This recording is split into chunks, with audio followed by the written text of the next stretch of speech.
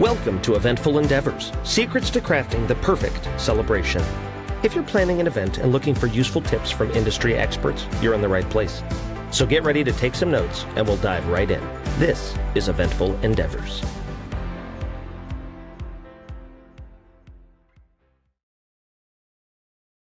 Hey everyone, this is Alyssa with Felix and Fingers, and I'm here today with Lexie from Availed Events. Hi, Lexie. Hi. We're super excited to have you on today. I um, found Lexie in a weddings Facebook group where there's a lot of good resources. Um, and I love your looking through your work, and I just think you'd be such a great fit for this podcast. I'm super glad that you're taking the time to come and share all of your wonderful knowledge with all of our listeners today. So thank you. Yeah, thank you so much for having me. I'm very excited to chat with you today. Awesome. Okay, we're going to jump right in. So, my first question for you is what is your favorite thing that you've seen at a wedding recently? I know this is a hard one.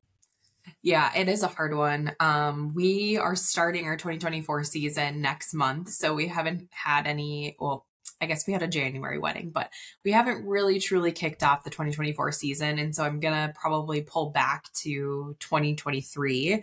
And I think like what I was so excited about in general in 2023, which um, I would say is mildly carrying over into some of our designs for 2024, but maybe not as boldly, is color. Um, and as someone who absolutely loves the design process within planning and designing, um, having to be able to design it with color is just amazing. And so, my favorite design last year was a bride who came and said, I want something bold, something different, something that you would never see at a wedding. And she gave me one picture, and it was like this inspo picture of Santorini. And so we kind of took that pretty literally and did these bright, bold fuchsia pink flowers and just monochrome. Like there was no mixing with white or lighter pinks. It was just all straight hot pink floral. And it was that. amazing. It was so good. Um, and so I think just that wedding, and it was at a private country club, so it just felt like really special to uh, to the bride and groom. And so, um, on top of all that of the design, it was just a really special day.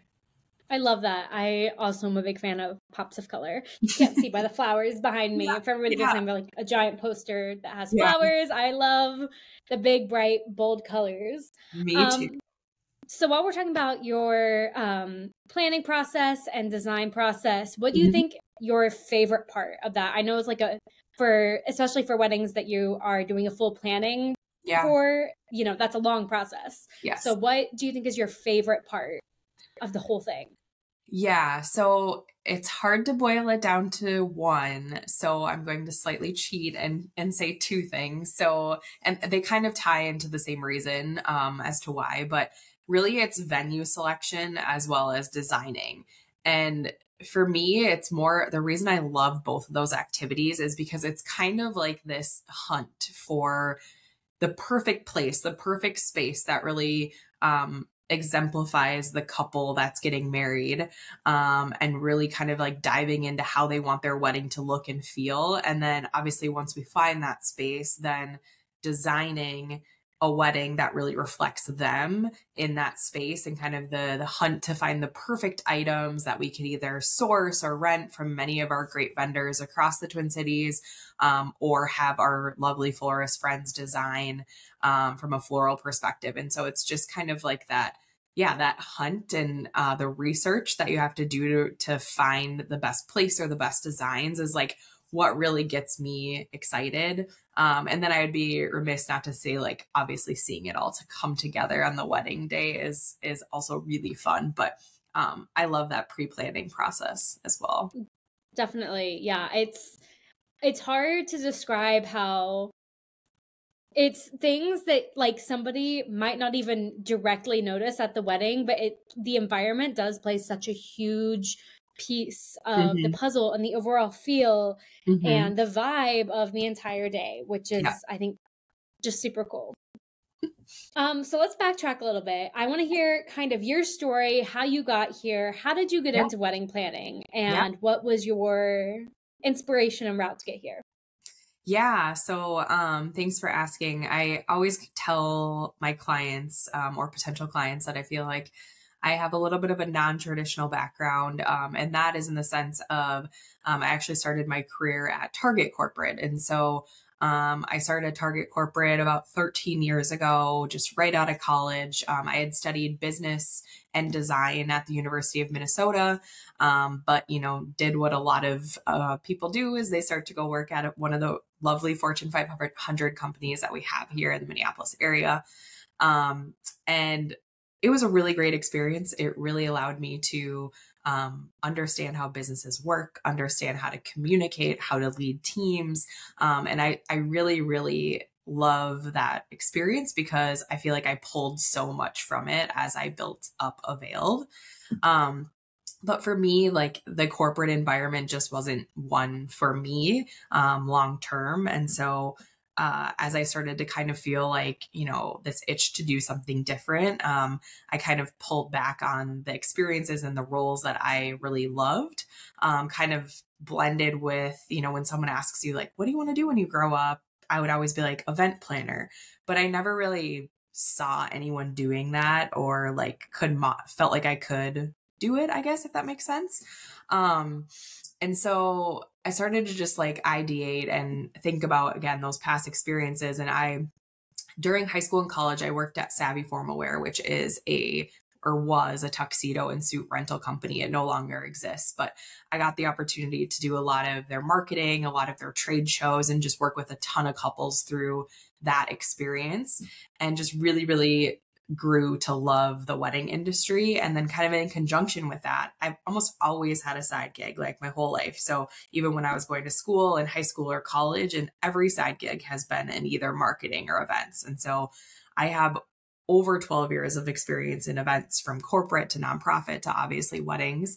Um, and so it was just kind of combining those two loves and passions. And um, that's kind of how Availed was born. And um, I know when people read my bio, I'll, i also talk a lot about my mom and how um, her ability to create experiences and celebrations since I was very young has also been something that's been very influential on me and something that I now really try to emulate for my family um, and hope that I also emulate for our clients at Availed as well. I love that. I think transferable skills are such a big thing and I think that it's become like a big buzzword recently, and I'm so glad that it has because yeah. it really, I think that that well roundedness really can play into events and really can play into being able to look at all the different sides of it. I would like to say, like, I'm a big jack of all trades. Mm-hmm. Like, being able to see everything from every angle really helps even you catch those like little details that might be missed totally. otherwise. Totally. Yep. Yeah. Completely. Definitely. Okay, so my next question's a little silly, but what is like the wildest wedding moment? Like, what's the thing that has been like, oh my gosh, this is the craziest story that I yeah. will never forget? yeah, this is a really great question. Um, and it's funny because I would always joke with my leads. Um, so for those of you who don't know, I have a team of eight, and so that's comprised of lead planners and assistant planners, and leads are the ones who can lead a wedding day on their own, hence the title. Um, but I always joke with my leads. I'm always like, all the fun things always happen to you guys. Like my weddings are so like normal and boring. like not really, but you know, just like these big, funny, outrageous events never happen at my events. And then um, two summers ago, I was at a wedding up north um, on a family owned property, and um, they were in kind of like the automotive um, type industry. And so they had a lot of vehicles on site, um, of which were like ATVs and snowmobiles and semis. Um, and yeah, so long story short, the groomsmen had a little bit too much to drink and they were doing like you know like when you do like donuts with a car but they were doing that mm-hmm. with a snowmobile um and burning out and, and apparently ruined snowmobiles but then furthermore they decided to then do that with one of the semis um and the semi caught fire um and literally blew up in flames Um, I'm sorry, it's not funny, but I'm like, it's not funny, but it's, it's so it's, outrageous. It's so outrageous. And the only thing I'm slightly disappointed about is I was not there at this point anymore. I had just left. The only reason I'm happy I wasn't there is my car was parked right next to this semi. So I probably wouldn't have had a vehicle, but I get a photo from the caterer like, hey, here's what's happening right now. And I'm just like, I couldn't believe it. Um, and so, you know, a lot of interesting conversations uh, with vendors on the following Monday, like, why are there tread marks in my linens or why are there holes through my linens or why is there smoke on everything um and oh, so just gosh. again conversations i never thought i would be having um but luckily no one was hurt um you know they they definitely um unfortunately ruined a couple vehicles in the in the uh, process but no one was hurt and uh the fire department came and got everything put out and so it was all good. But um just like completely wild and like literally you will always remember that. Yeah i will ne- i will never ever forget it um oh my so, gosh. yeah just it, very interesting one to share for sure definitely. Okay so tell me a little bit you know we've talked about availed a little bit but what are like your long-term plans with availed? Like where where's availed going? What do you think is going to happen next for you? Yeah, thanks for asking. Um, well, as I mentioned earlier, I've been really focusing on building up my team, um, just ensuring that we can accommodate multiple weddings a weekend and have really great um, leads to lead those days so that you know our clients can feel like um, you know people get really excited and want to work with me directly but i obviously can't be there um, at every wedding day. And so i've just been really focused on finding like really awesome people um, to build out my team and really be able to like provide that client experience um, that i uphold us to. But yeah, my my like ultimate pie in the sky goal is to um, build a venue. So not buy a venue, not like take over a barn or an existing structure. It's actually find land and build a venue. Um, I've had a specific that. vision um, that I won't talk about because um, I'm going to keep that under wraps. But I've had a specific nobody can steal it for, exactly for quite a while, um, and think there's quite a need for this type of venue as well as this in this location. And so, um, yeah, I've been actually actively looking for land for a while now um, and hope to make that dream come a reality. And my hope is within the next five years, but um, I hope so too. Of land for that to happen. So yeah, that's something I, as you know, it kind of ties back to the earlier response about like the venue selection being one of my favorite parts of the process. And so just being able to have a space that people feel like is really special and they can celebrate in um, would totally be my dream. So I love that. I love that so much. So I heard a rumor that you're a big foodie. So I have to ask you too. What's the best food that you think you've ever had at a wedding?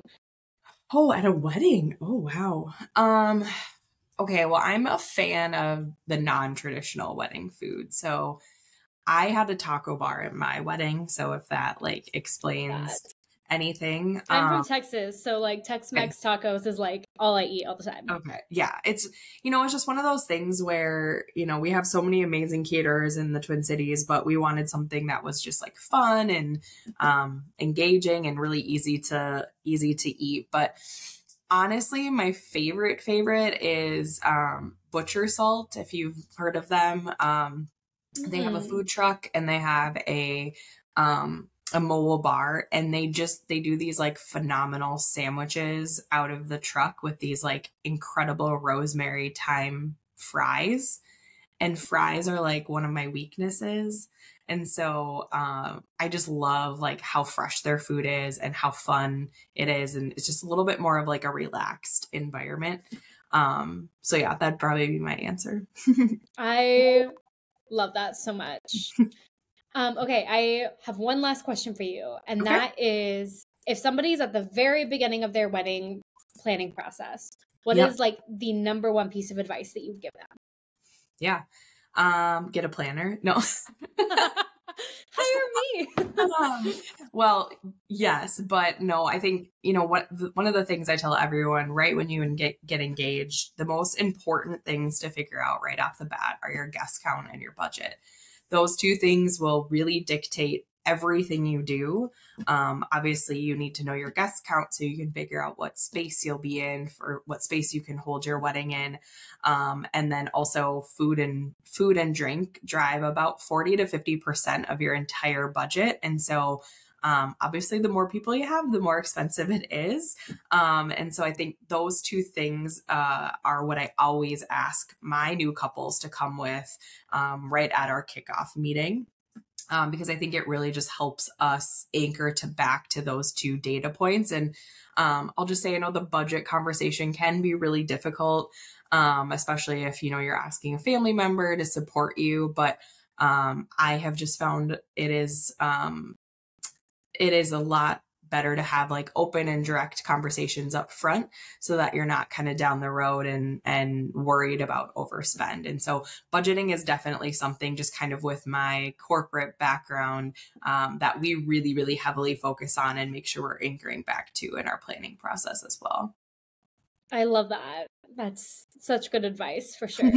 yeah. Awesome. Well, thank you everybody so much for listening. Again, this is Alyssa with Felix and Fingers, Lexie from Availed Events. Um, thank you so much, Lexie, for all of your advice and yeah. coming on today. And for everybody listening, we hope you have a great rest of your day. Bye.